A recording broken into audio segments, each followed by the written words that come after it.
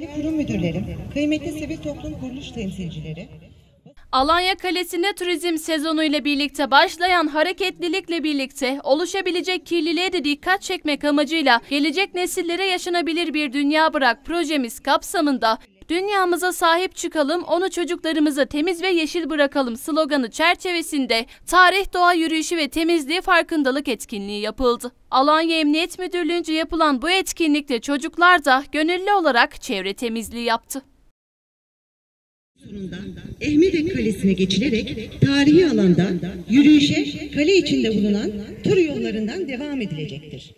Kale içi Alanya Kaymakamı Doktor Fatih Ürkmezer Başkanlığında Alanya İlçe Emniyet Müdürlüğü, kamu kurum ve kuruluşları ve STK'ların katkılarıyla hazırlanan farkındalık faaliyeti için teleferik desteğiyle ulaşılan Ehmedek Kalesi Bayrak Tepesi'nde müzik dinletisi yapıldı. Daha sonra ise kale surlarının çevresindeki ormanlık alanda yürüyüş ve çevre temizliğiyle farkındalık oluşturularak tarihi Sandık Emini Kayhanlar Tarihi Evi, Mecidüddin Sarnıcı ve Süleymaniye Camii ziyaret edildi.